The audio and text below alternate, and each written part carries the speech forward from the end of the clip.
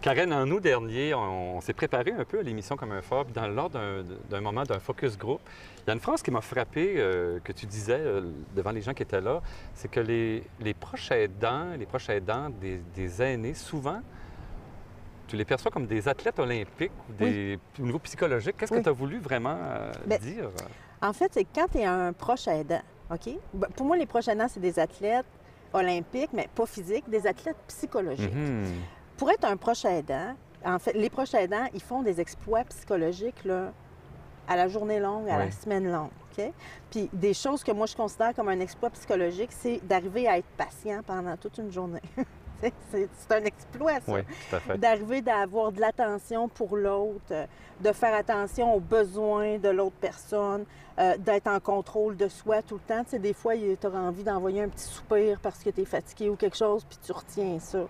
Euh, le fait aussi d'être toujours en contact avec, bien, régulièrement en contact avec des problèmes, de la souffrance, ça, c'est un exploit olympique, psychologique, d'être en contact avec ça tout le temps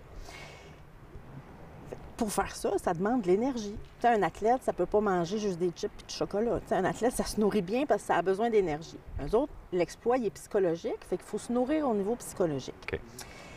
Pour savoir... Puis, ah oui, ce que j'entends souvent des proches aidants, des fois, ils disent « Ah oui, mais moi, j'aime j'aime ça. J'aime ça faire ça, j'aime ça donner, j'aime ça être... Euh, même si on aime ça, là, il faut quand même se nourrir. C'est comme si je te disais, moi, j'aime ça me promener en auto. Oui, tout à fait.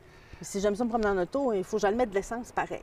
Fait que quel genre d'essence ça prend pour être capable de faire ces exploits-là sans s'épuiser? Mm-hmm.